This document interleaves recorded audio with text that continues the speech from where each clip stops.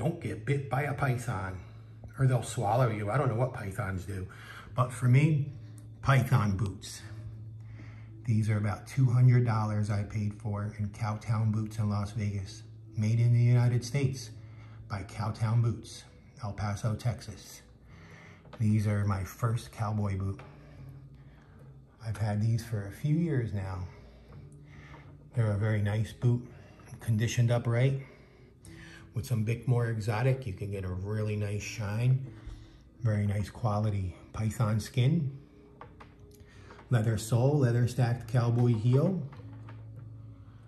And you can see that they're not the same. It's one thing about cowboy boots. And exotic prints. If you look at both boots and they look the same, they're fake. So watch what you're paying for out there, folks. You can see the scales are very nice.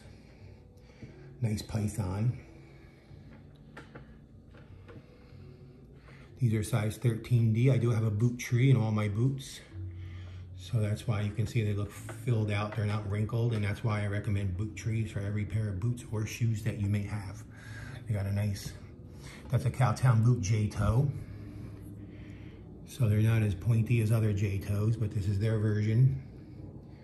And you can see that this is a beautiful boot to look at. It's all 100% leather. The shaft has a nice, nice white stitching. I think it's a five row stitching.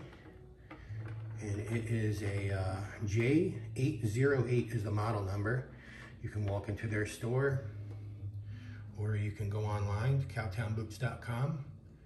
They have made in Mexico boots. They got Dan Post boots, Justin boots, anybody's boots. But these are the ones that they make. They're a very nice boot. They're very fine leather. Like I'm saying, I paid just under $200 for these many years ago, and I've seen many other boots that are $1,000. Are they better? Maybe. I can't say yes because I'm very happy with these. I can highly recommend Cowtown boots. The ones that they make in the United States are amazing. So if you like to have some snakes, start off with some pythons. Then you go to rattlesnake. But the pythons are beautiful. Very nice for over two years old.